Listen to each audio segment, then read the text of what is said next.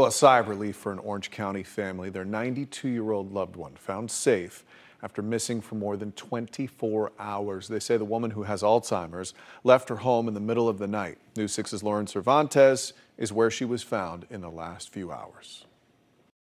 Orange County deputies say she was found. Her family telling me they were going door to door in this neighborhood, canvassing along with deputies, and that they found her here behind this home. Take a look at video. Her granddaughter walked my photographer Homer around the house to the spot where they found her.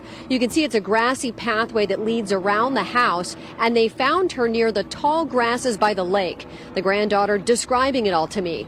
We just started looking back in the back close to the house, and we were kind of trespassing, and some of us, some people that were outside gave us permission to go outside and inside the, the lake, and we were just calling out. We were just calling Abuela and we heard a mumble. And as soon as she mumbled, we just, me and me and her, we just ran and found her. I just started screaming.